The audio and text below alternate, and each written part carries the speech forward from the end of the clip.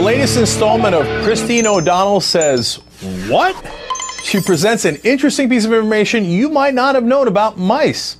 In a conversation about cloning in 2007, O'Donnell told Fox's Bill O'Reilly, quote, American scientific companies are crossbreeding humans and animals and coming up with mice with fully functioning human brains. Well, I've done some digging and was shocked to find out that Miss O'Donnell just might be right. Pinky, are you pondering what I'm pondering? Well, I think so, Brain, but. No, no, it's too stupid.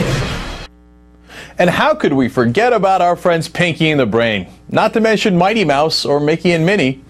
How could mice be here to save the day or welcome us to Disneyland if they didn't have human brains? Think about it. And O'Donnell might be right that there's a good reason to argue against stem cell research, because who knows what it could lead to.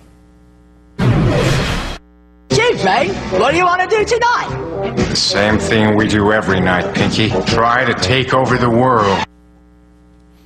I'm guessing she's misquoting a 2005 report where scientists successfully grew human brain cells within mice, not whole brains.